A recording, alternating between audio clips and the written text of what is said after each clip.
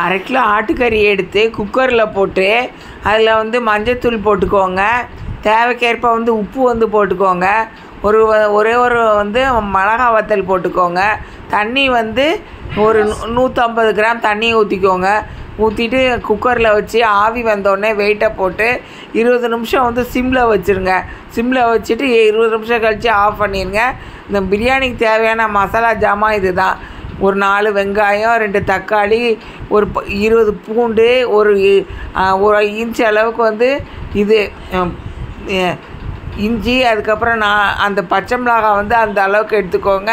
அதுக்கப்புறம் வந்து அந்த வாசனை சாமான் எல்லாம் எடுத்துக்கோங்க. கரம் மசாலா எல்லாம் வாசனை சாமான் எல்லாம் நல்லா அரைச்சிட்டு தயிர் ஊற்றி ஒரே ஒரு கரண்டி வந்து தயிர் ஊற்றி அரைச்சிக்கோங்க. இப்போ கடை இப்போ வந்து குக்கரில் வந்து ரெண்டு குழிக்கரண்டி எண்ணெய் ஊற்றிட்டு கடலை எண்ணெய் ஊற்றினேன் நான்.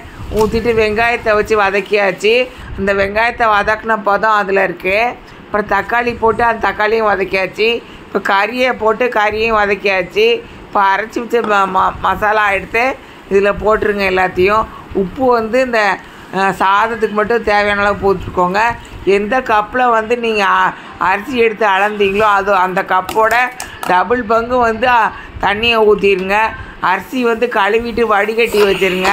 அதை எடுத்து போட்டுருங்க. குக்கரில் வந்து ஃபுல் ஃப்ளேமில் வச்சுட்டு அதுக்கப்புறம் ஆவி வந்தோடனே வெயிட்டை போட்டுட்டு சிம்மில் வந்து பத்து நிமிஷம் வச்சுட்டு ஆஃப் பண்ணிடுங்க நன்றி.